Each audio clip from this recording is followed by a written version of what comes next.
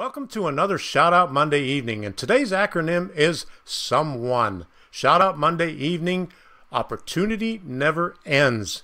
And this one is going to complement the video that I did on the power supply the other day. Now, because what do you need for that power supply? You need accessories to hook up to that power supply. And this channel is developing his own. So let's see who I'm talking about here.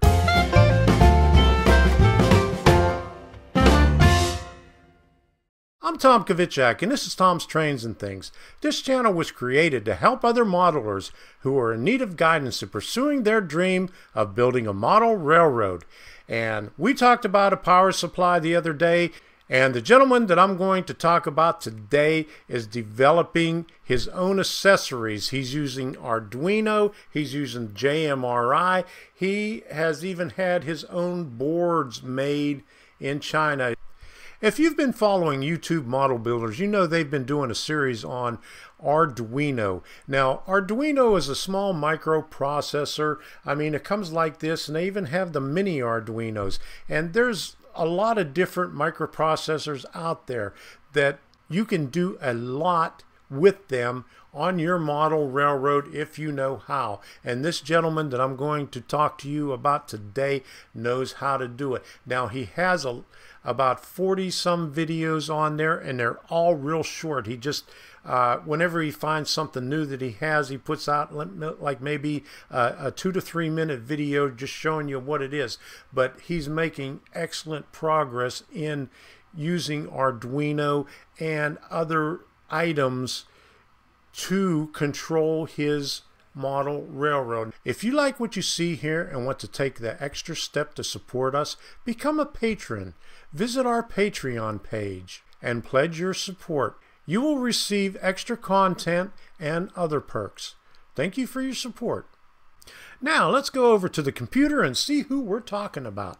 Well, don't we all wish that we were experts with Arduino? I'm going to have to watch YouTube model builders a little bit more to find out more about Arduino. I've been working with Arduino for maybe two to three years since I first discovered it. I think I read an article back on uh, Model Railroader magazine or Railroad Model Craftsman magazine about somebody using using it for lighting, and that's what got me interested in it. But uh, the person I'm talking about today uses Arduino extensively, and you could tell by his logo. He uses the Arduino logo on there, and his channel banner is a circuit board for Arduino. So, anyway, let's go over here. Now, as you can see, he's got a lot of very short videos, and when he finds something, he just posts the video on his findings. He doesn't really go into a lot of detail about what he does. He just you know when he has some results he he'll just post it on there and it goes from maybe well let me see he's got a 48 second one up to 2 minutes and 55 seconds so that 2 minutes and 55 seconds looks like about the longest one he has on there that I could see right now but anyway he does he's doing a lot of projects on there and you could learn a lot by watching what he does. I mean, you he's not showing you the details of how he's going about doing it. He's showing you the end results, but still you could see what you can do with Arduino and JMRI, trying to link the two of them together because I know uh, a lot of people would like to do that. Arduino is a powerful microprocessor. It has a lot of inputs. It has a lot of outputs that you could use on there. And Bob McCown is uh, using it to his fullest capability on here. And I'm just going to pull up his last one here. Remote Node Custom Shield. All right. Now this is something that he, this is a circuit board that he had made. So he had uh, quite a few of them made. But anyway, he had these made in China for a project that he's working on. And uh, let me fast forward over here. a little bit. Well, we still see the same thing. Okay, where are we at here? Okay, now here's uh, what he was working on. And uh, there's a couple other videos before this one where you could see the project that he uh, was working on.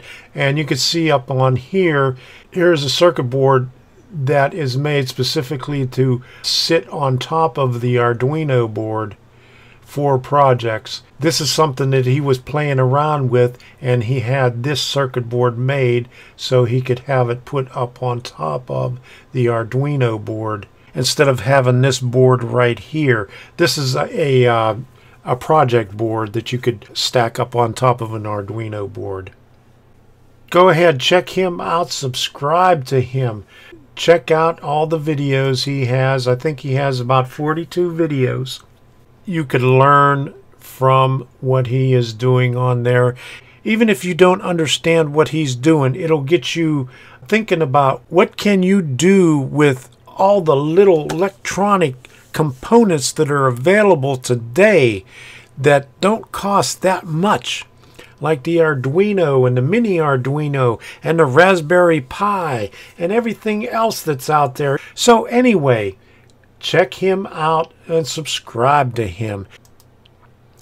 So let's go back to the the train room where I could finish this thing up. All right, so Bob Cowan has some pretty interesting stuff on his channel. So go ahead and check him out. And while you're at it, subscribe to him and hit his little bell icon up there so you could be notified whenever he puts a new video out there. He's got a lot of projects going on and he's developing some good stuff for his railroad. I got to watch a little bit more of the YouTube Model Builder series to get a little bit more familiar with it. I, I got a little bit away from uh, working with the Arduino. But anyway, if you would like to see more videos like this, go ahead and hit that subscribe button. And while you're at it, ding that bell. And that'll notify you whenever I have a new video coming out. And also, leave a comment down below. Let me know what you think about it. Let me know what you think about everything else. I have a Q&A coming out later on this week. It's five things that Debbie asked me. I talked about it earlier and I showed you on the notepad. It's on here someplace uh, on one of these pages. I even made a new page for her. So anyway, we'll see you and don't forget uh, if I don't ask if I don't answer your questions right away on Wednesday, that's because my daughter's here with the granddaughters and we're out doing something. We're either at the pool, we're at the beach, or we're having a good dinner someplace. And it'll probably be a couple of days before I get to answer it when I have some spare time. So, anyway.